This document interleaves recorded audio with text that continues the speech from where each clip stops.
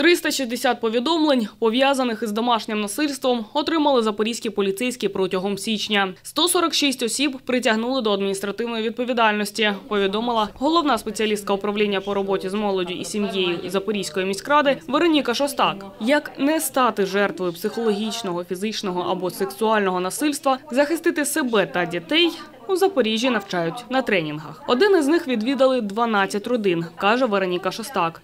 Серед учасників жителька Запоріжжя Олеся Шевцова. У шлюбі жінка була 13 років. Зізнається, тільки після розлучення збагнула, що була жертвою психологічного насильства.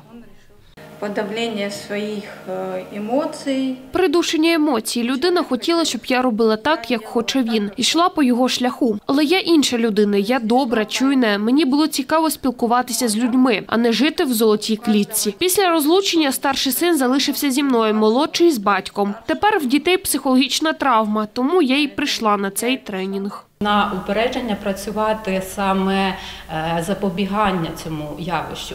Тому чим більше людей будуть е, знати, що таке домашнє насильство, які прояви бувають домашнього насильства, види, які домашнього насильства.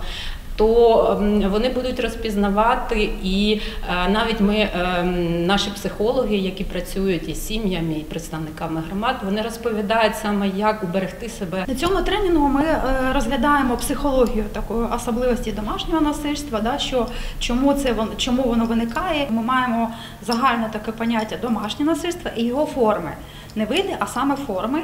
І до цих форм е, домашнього насильства належить психологічне насильство, насильство економічне, насильство е, е, сексуальне і насильство фізичне. Якщо будь-хто стикається з випадком домашнього насильства, він має е, зателефонувати на 102, тому що і саме повідомити, що відбувається домашнє насильство.